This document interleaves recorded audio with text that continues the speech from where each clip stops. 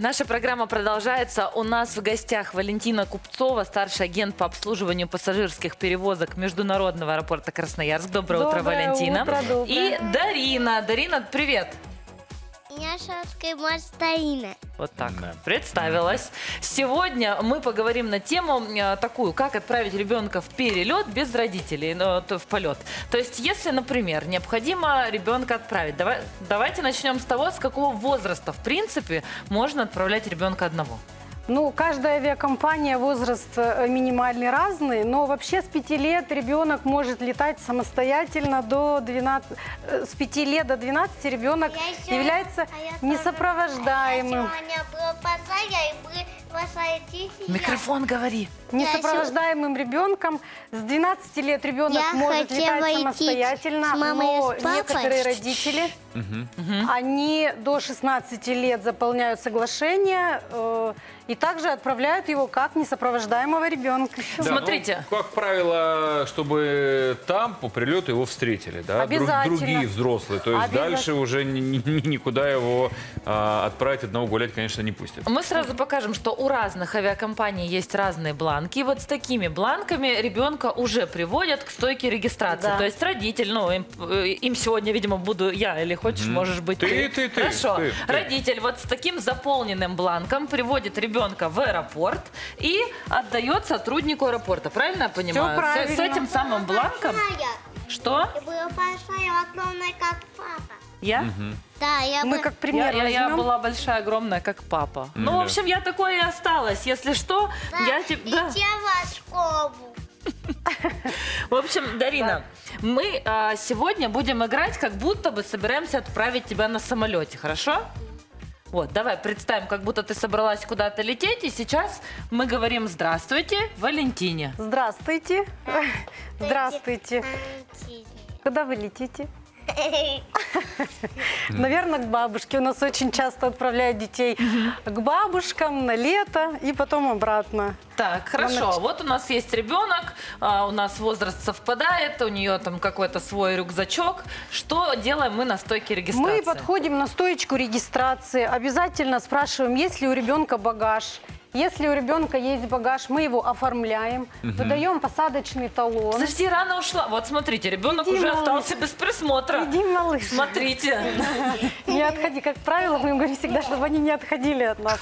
Они очень послушные. Выдается посадочный талон, фамилия, имя ребенка, место обязательно. Багажная бирочка, если у, у ребенка есть багаж, клеится. И все это складывается вот в эту сумочку.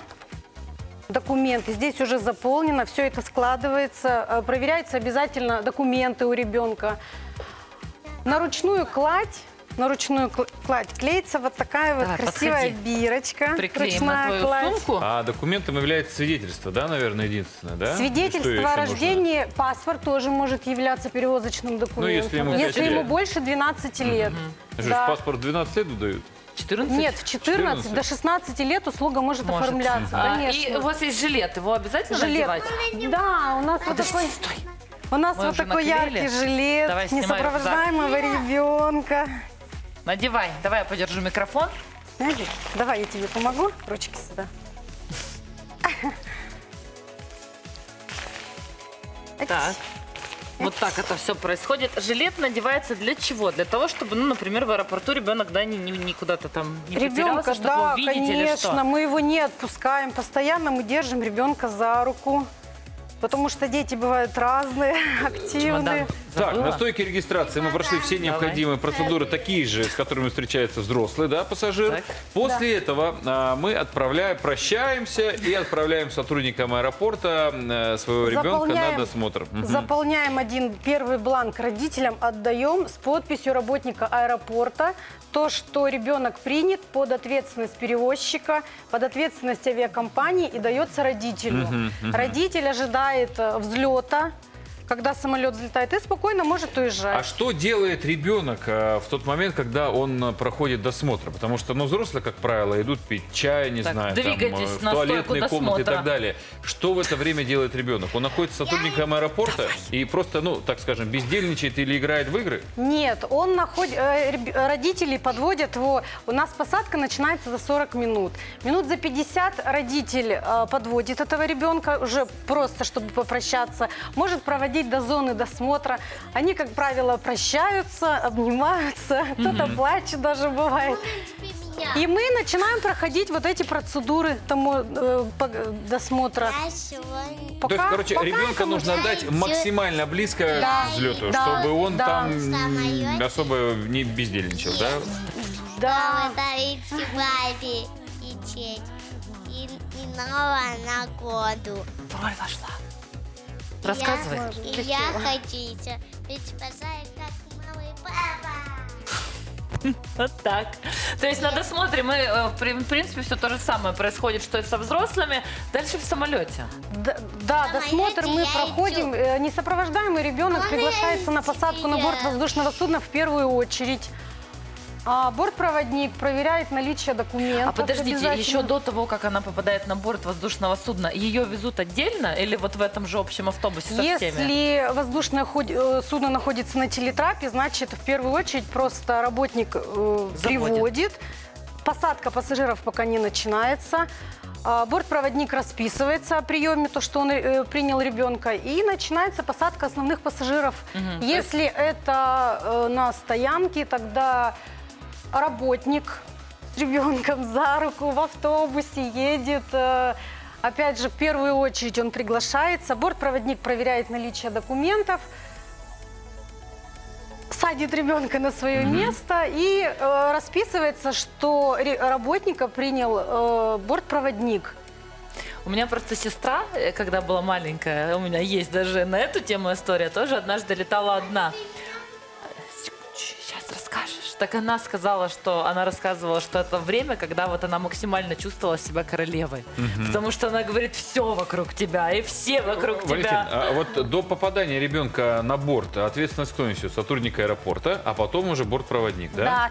С, с момента, когда э, представитель авиакомпании или работник аэропорта поставил подпись, что он забирает ребенка, а ответственность несет аэропорт, представитель авиакомпании, э, наземная служба. Как только бортпроводник, бортпроводник поставил подпись, что он принимает ребенка на борт воздушного судна, ребенок попадает под ответственность бортпроводников. Хорошо, а что делать в том случае, если я отправил своего ребенка впервые в такое путешествие, все процедуры прошел, а на борту, например, во время взлета, или во время полета, или во время посадки, не знаю, начали закладывать уши, началась, может быть, какая-то истерика, да? В этом случае как поступают? Есть ли какой-то регламент? У нас бортпроводники вообще подготовлены к таким ситуациям, но проблем, вы знаете, не было, Не было, если да? честно. Здесь э, указывается, да, в соглашении обязательно, что родитель, э, Мгм. он э, объясняет, что ребенок э, хороший, нормально ведет Ну, понятно, себя, есть нет не никаких- капризничает. да-да-да. Ну, люди бывают разные, дети в том числе, но, как правило, у нас такого не бывает. Ну, короче, Дети- это часто пользуется, э, эта услуга, да, она бесплатная, естественно, это просто нужно к ней э, более ответственно подойти, заполнить все документы и приехать заранее, нам, возможно, да? Это надо заявить при покупке билета обязательно. Авиакомпания должна знать, что у них на рейсе будет такой ребенок.